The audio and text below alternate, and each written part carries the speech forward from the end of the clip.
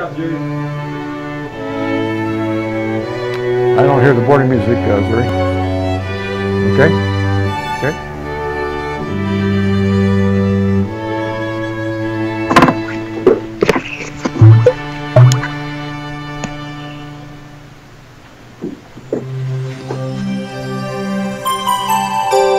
Okay. Friday afternoon, folks. Ted Ralston here in our downtown Honolulu studio, actually overlooking the Kauai Coffee Company by remote here, uh, on our show Where the Drone Leads. And today, our drone show takes us right to the freshest cup of coffee, coffee you could possibly enjoy here in Hawaii out of Kauai Coffee Company. Our guest today, a longtime uh, uh, participant on Think Tech Hawaii when he was in Honolulu, now on, on, on the uh, island of Kauai, is uh, Fred Cowell, General Manager of Kauai Coffee Company. Welcome aboard, Fred. Thank you, Ted. Welcome. Uh, good to have you here. And uh, we just met this week at, at, the, at the Capitol. It's been a very busy week here in, uh, in, in Hawaii regarding uh, drone activities. hearings in the Capitol, the Aviation Day in the Capitol, Ag Day in the Capitol, and yes, yesterday we had an event down at UH where we had demonstrations and displays and discussions on drone technology for uh, members of the legislature. So anyway, uh, but Fred comes to us uh, with a, with, a, really exciting perspective and use case for drones in a very positive way on the island of Kauai in terms of optimizing crop progress in the coffee plantation business. Fred, tell us a little bit about that. Well, I've been with uh, Kauai Coffee for about uh, a year and a half uh, came from Oceanit Laboratories doing a bunch of infrared research. Um, I knew that through sensor technology we could help our farm operations dramatically. Uh, we've got roughly 3,100 acres and we cover it with manpower. And the ability to get up in the air, see things that we can't see from the ground, monitor things that we can't monitor from the ground just seemed like a perfect fit. So you've been able to uh, get this started and, and begin operations with drones actually today in, in Kauai. Um, well, we began using them for uh, overhead imagery, trying to create orthomosaics. Uh, using near infrared, we wanted to look at plant health, we wanted to look at uh, irrigation stress. Uh, we even wanted to be able to spot invasive vines from the air.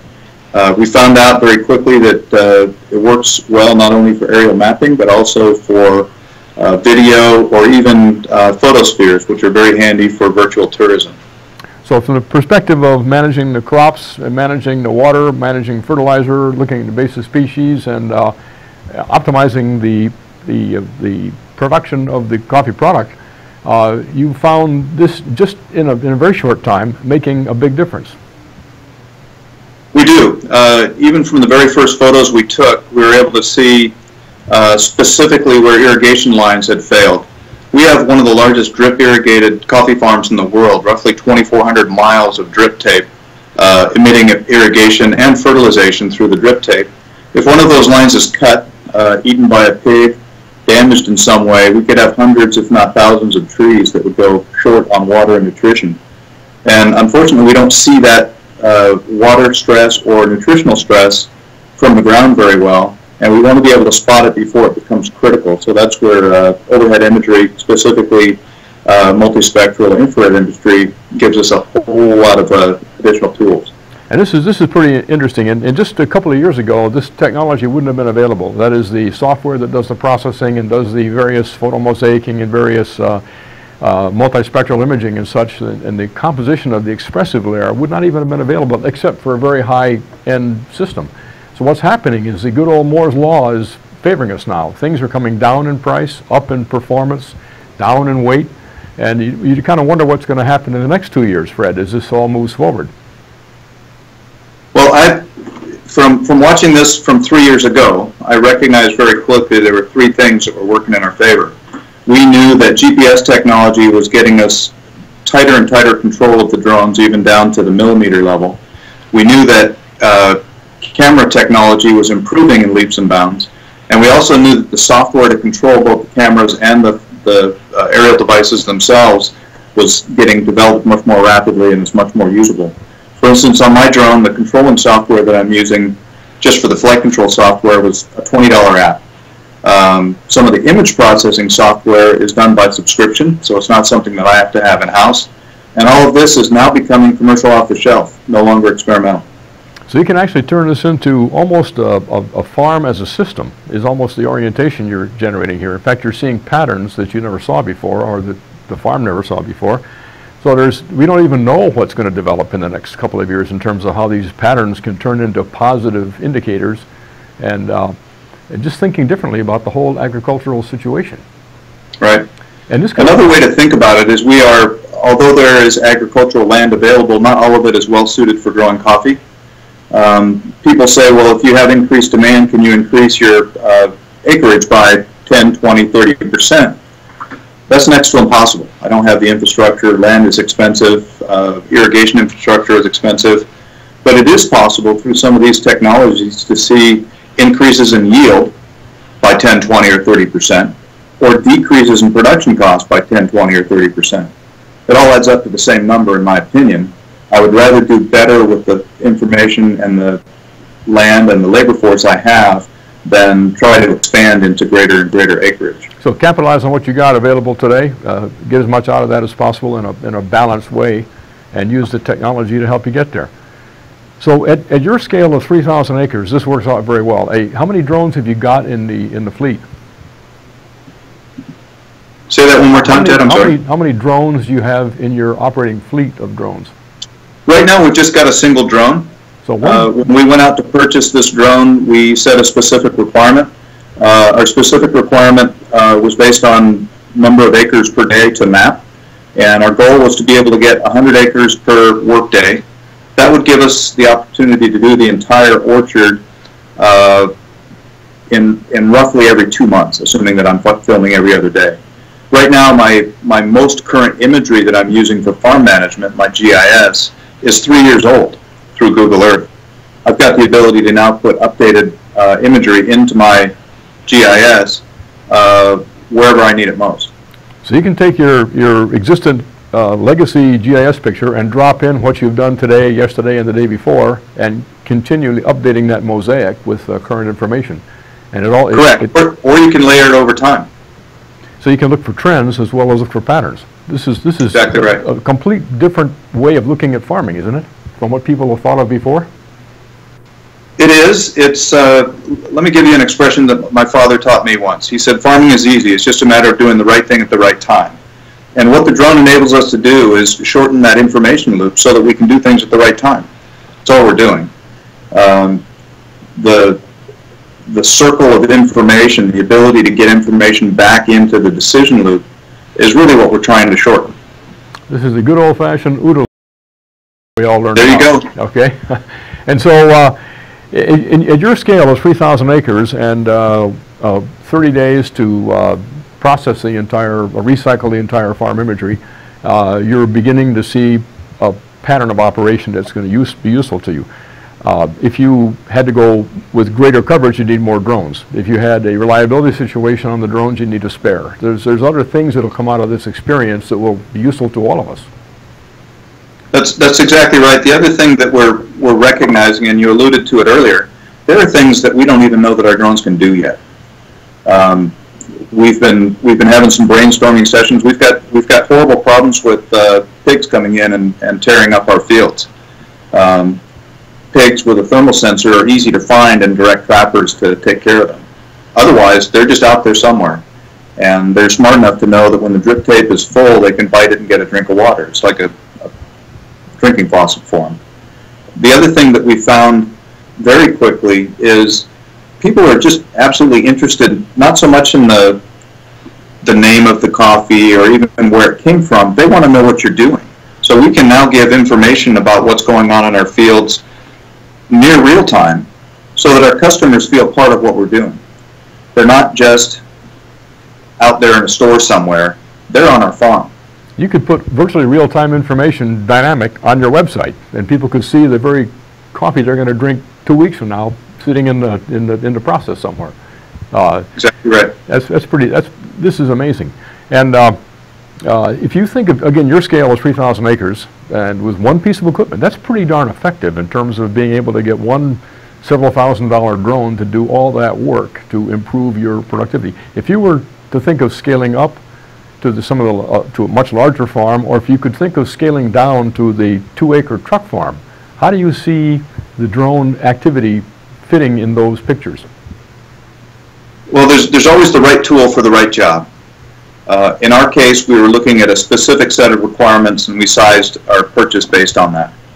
Um, there are licensing required requirements. I went and uh, got my FAA remote pilot license uh, in Honolulu a couple of weeks ago. Certainly worthwhile, highly recommended, in fact required for anybody that's using it for a commercial operation.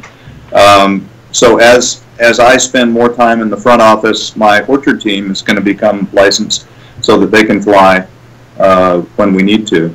It's re- it's also a matter of opportunity. When the when the sun is right, when the wind is low, when the conditions are ideal, we got to go fly. Uh, multiple drones is perhaps the next step. We could go to a fixed wing drone, which would cover more acreage. Um, and there's even folks that are using helicopters and, and manned fixed wing to do the same type of survey. It, we just don't quite have the flexibility. On small farms, which couldn't afford to buy perhaps a multi-thousand dollar drone, uh, there are folks that offer uh, farm survey services on an hourly basis. Great way to go. And you don't have to buy the equipment and you get somebody who's experienced what they do.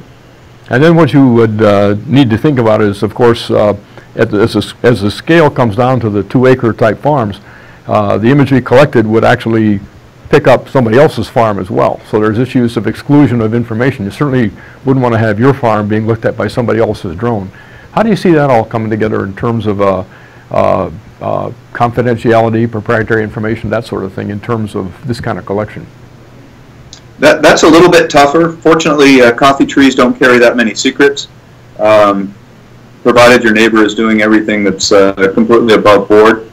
Um, if I were on a smaller farm and I didn't have a neighbor that was exactly uh, next to me, I would let him know that I'm flying on a specific day, just out of courtesy. Um, just common sense would necessarily need to prevail. The other thing about a small farm with two acres, rough number of trees on two acres is maybe 1,200 to 1,500. I could walk my entire farm in a couple of hours and get the same information that I could from the drone or similar type of information. I just don't have that many legs. Again, 2,400 miles of coffee trees, that's a lot of walking if I were to try to look at it. So the smaller farms would want to bind together and, and hire a service from some service provider uh, yep. so that they wouldn't have to spend those two or three hours walking their two acres, but the drone would do it in five minutes uh, for that, uh, that small acreage and then just combine right. it and then separate results out of the processor and provide it to you as a, as a service. Right now my uh, survey rate with full orthomosaic is approximately 15 acres in 15 minutes, so an acre a minute that's a pretty darn high rate of, uh, of accomplishment, it seems to me. An acre a minute, that's, you, can, you, you can't even, I mean, in a minute, you can't, you barely penetrate that acre of walking. So the. Yep, that's, that, that's a bit tough. So if I were walking, it, it would be, uh, my conversion is roughly 4,800 feet for every uh, acre of uh, trees. So roughly a mile walking for every acre that I'm doing. So you have the speed. The other nice thing about the Nuke technology is we don't fly it. The new technology allows us to program the data gather, send it on its mission. We're required to be in control, have it in visual range, but it flies its mission and then comes back when it's complete. We'll swap batteries and go do the next one. Let's come back to the uh, to how this might extend again into the education domain, into the community awareness and this sort of thing when we come back from our first break, Fred. Well, it, one of the biggest issues that Hi, and thanks for watching Think Tech Hawaii. My name is Justine Spiritu, and I host the Hawaii Food and Farmer Series with my co-host Matthew Johnson of Oahu Fresh. Every week, we bring on farmers as well as all the other individuals and organizations that help support a thriving, sustainable food system. In fact, it's interesting to learn what others are doing so you don't have to be a Hawaii resident or producing food on Hawaii to be featured on the show, like today's guest, Wyatt Bryson of Jewels of the Forest and Mycolab Solutions. Aloha, thank you. It's been a pleasure being on the show. Um, I love uh, seeing what you guys do, and I really support your mission. And uh, it's really nice being back in Hawaii, and uh, thank you again. It's an honor. So you can see guests like Wyatt every Thursday at 4 p.m. on Think Tech Hawaii. Thank you.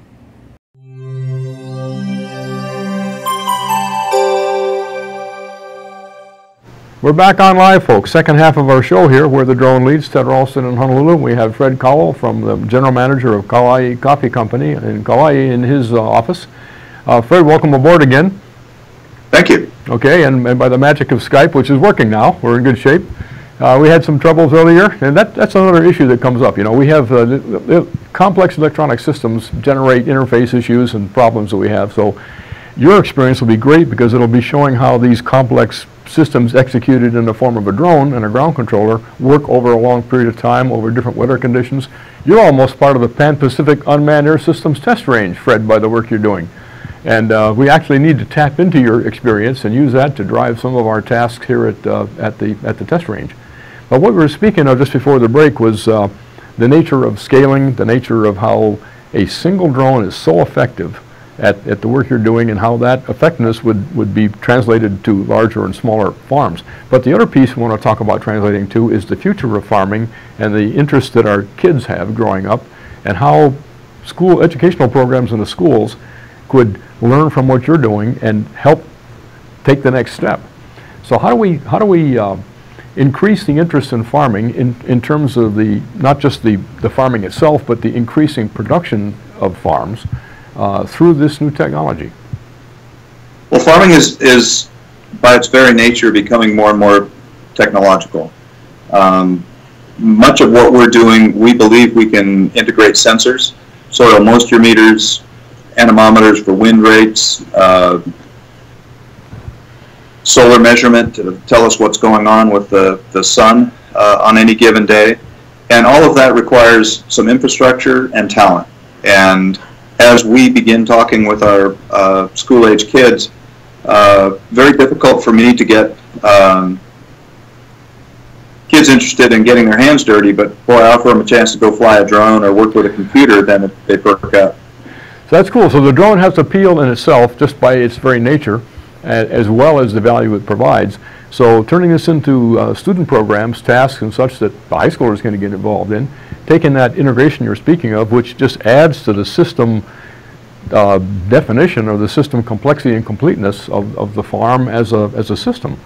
Uh, uh, so you're, we're kind of in a situation where the information is being generated maybe even faster than the system orientation can accept it. So we do need some high-level problem-solving thinking at that level of integration as well as the sensor development and such. Uh, this is a, a almost becoming a complex adaptive system problem, which all of us love to take on. It's, we could even say that it's a system of systems. I've got an irrigation system, a fertilizing system, um, a nutrition system, uh, harvest system, processing system, all of those things come into play. None of them stand completely alone, especially in a company like ours that's vertically integrated. So as we take that system of systems approach, uh, the exchange of information really becomes key. And this is this is uh, again something that uh, without the oh here we see some some graphics of, of what we got here. So uh, talk us through this one. Can you see it, Fred, on the screen? Okay, this is the uh, chart we used this yesterday at the UH. Uh, we're showing here the use of UAS in agriculture in Kauai with your company logo in the middle, showing a couple of uh, uh, distant view graphics, which I think, as you suggested, would be very useful in communicating with customers and with suppliers and such on just what the farm looks like today. But then we show on the lower left the green leaf index, which I think you flew last weekend. And uh, tell us about the green leaf index analysis, Fred, and what the red bands on there mean to you. Um, actually, I shot the green leaf index yesterday at about 9 o'clock. okay. And was able to turn it and give it to you by about noon, um, even with processing in the cloud. Uh, what we're looking for uh, in that particular block, we knew we had a, a vine infestation, the Mauna Loa vine that was choking some of our coffee trees and we were doing some experimentation where we could see the thickness of the vines or the difference in the vegetation based on the vines. Uh, Greenleaf Index is a little bit simplistic for the challenge. It's showing us basically where I've got the greatest amount of leaf mass. Uh, where I've got the red showing through some of the lines, that's uh, thinner foliage, and where I've got the darker green, that's the dark foliage, or excuse me, the uh, heavy vines and leaf foliage. So what we have here, though, is, a, is the beginning of a pattern identification of what's going on in the ground, in the watering system, and maybe even in the atmosphere, and certainly in any invasive uh, challenges that are here. And so mm -hmm. if algorithms could be brought forth that would give you sort of instruction as to what to do with that once we have the history under, understood and the ground truth and what, what we're going to do about it. So that, that basic presentation of data and that first level of filtering is a key to what the next step has to be. And That's know, correct. uh, One thing, one disadvantage that I've got is there are many coffee farms in the world. I don't know of any that are doing uh, coffee leaf, leaf algorithms. Uh, I've got a lot to learn from the wine industry uh, and other industries in California that are of similar scale. Um, but I'm kind of out here on my own. And my next shot would be to take that same field with uh, a near infrared or some other infrared spectrums and see if we could break something else out. And then tie it back to the ground truth of what's going on in the field. And so what that's all about, more and more, is that the drone is a skyhook holding a sensor, and what's critical is the software that does the analysis and does the expression of what the information is to let people make decisions. That's why the logo or the label in the statement in the middle of that chart was, hey, it's all about pixels, but it's, it's more about what you do with the pixels. I mean, a, a picture or even a video is nothing more than a gigantic pile of pixels. And how we filter them, how we take out the, the various reflectance aspects and combine them with other pieces of information to try to get some inferences here, things that our brains can't even do, uh, can be done now, uh, uh, operating on the, on the pixel package. So I think a lot of our future is in, in getting our kids to think about that. What kind of filtration, what kind of analysis, what kind of um, combinations are necessary to get the best picture out of that. And uh, anybody involved in dynamics would know that the Kalman filtering domain, which is how the same sort of thing is applied to uh, dynamic streams of information, has so many different filter packages that are available today, and they're changing every day. So it's all about taking that information in the pixel pile and doing something with it. And you know, we don't think Well, about I that think much. from now on, I'm going to explain that picture of green leaf, leaf index as a brain scan of my coffee orchard. Yeah, okay. And let's talk about the picture on the right in that chart that we showed a minute ago, and that's the landform analysis, which is incredible. From a plain old camera, we're getting a landform analysis, which, uh, talk us through that, Fred. That's the volume estimation piece, where we're looking at uh, cuts in the earth here. Correct. One of the uh, piles that's highlighted there, we're trying to estimate the volume of that pile. We have a, an on-farm composting operation here on Kauai Coffee that does almost 5 million pounds a year of waste pulp. Uh, that waste pulp is extremely valuable in our orchard to uh, spread micronutrients, um, microbiology, and increase our organic matter. The ability to estimate the volume down to the cubic yard is a huge help. Now I've got an ability to, to determine how much compost I've got ready or how many acres can be treated based on the size of that smart, size of that pile. Uh, that's done uh, through a series of shots measuring ray tracing from various different angles to come up with a uh, composite volume. They say that the uh, elevation bands or the ability to determine the elevation of that pile is to within centimeters. So that pile that circled, we came up with 2,477 cubic yards uh, based on that flood. And so that sort of thing would be extremely useful beyond farming in construction industry, in the, uh, in the quarry industry, uh, in any kind of land mass uh, looking, even things like disaster management, disaster operations where you want to predict, uh, uh, like in Oroville, California right now, where, um, uh, where landslides are an issue with with the sodden earth. So looking at landforms, determining the forces on the land and this sort of thing, all these things what we have to ask our kids to think about and how we want to take that pile of pixels and do something with it to generate the kind of insight and information you're getting there. But it, it's this got to this has got to blow you away, Fred. that What you've done here in just a couple of days. I mean, it should blow anybody away. And at at the, at, at the commercial price that we're talking about these days, this information is just never we've never seen this before. It's, it's the speed of change. That's really what it is. Yeah. And Moore's Law will say that this will be available free on the internet in two years, and then and the next wave of uh, sensors and sensor analysis will be coming into the picture. Would, is it possible, do you think, after the short experience you've had here, projecting forward, could you write down what the most desired output would be of this sort of pattern analysis or uh, OODA loop optimization? That would be it. I'm, Sorry about that, but I almost believe I'm frightened to, to speculate, yeah. um, but I'm absolutely curious. There, there are, and it may, and it's not going to come from me. It's going to come from somebody else looking at the problem from a different angle, or who has seen something similar used in another context that says, hey, let's try that. Um, the, there really is no limit. It's just a matter of how creative we're willing to be. Uh, I, I run a for-profit company. I have to maintain budgets and timelines and production lines.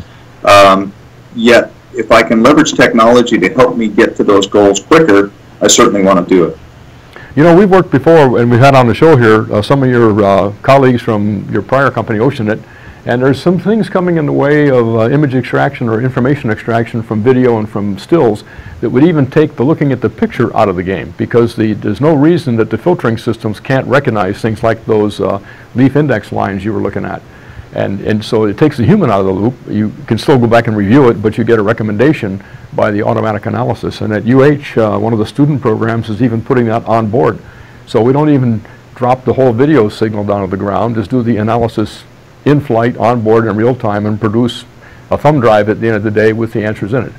Uh, that's a search and rescue activity, but uh, uh, the hardest thing we've all got is, is the question I asked you. How do we figure out what the requirements are that we need to write down for the benefits of the future and get people pushing in those directions? And the same applies, and we're dealing with law enforcement, we're dealing with at the federal level and the state level, and uh, the environmental issues, uh, coastal geology, uh, and such. And so uh, it, it, it, um, it's going to take some, some experience and some leadership, and this drone rodeo we're talking about that we're going to do on your property in October to try some of those experiments and, and, and tease up the issues of what the future might, might benefit from. This is a, a pretty exciting time for an old guy like me to be uh, seeing it all happen. Well, it certainly is. I, uh, I began my Air Force career shooting celestial out of the top of a C-130 to find my way across the ocean, and now GPS can find me within a quarter of a centimeter. Um, things change. Things change for the better, but it is certainly an exciting time. Uh, uh, the old expression that whiskey is for drinking and water is for fighting over means that the ability to use drones and other tools to use water more wisely, huge area of interest. That's fantastic. Uh, and certainly uh, in Hawaii, where we are transitioning from plantations in some areas to uh, golf courses, such that whole issue of water uses is a big issue. Over and over again, we see that. Anyway, Fred, uh, thanks so much for coming on board. Thanks for the leadership you're, you're generating here. Without this kind of real activity, the, the, the benefits wouldn't be evident they'd be talking. You're, you're putting them into real terms and that is such a, a positive uh, leadership step here for the whole state. So thank you very much for that and we'll get you back on the, on the, on the uh, show once a month or something like that. I'm sure you've been making that much progress that we'll learn so much from you. But thanks for coming on and uh, we'll see you again at the Capitol I'm sure uh, very soon and certainly at the Drone Rodeo on, on Kauai coming up in October. Well, I hope I'm able to host it for you. We've got a wonderful site. Okay, that's great. We're looking forward to it. So, folks, that's it for our show for today. And Fred Cowell, thanks for coming on, and we'll see you all next week.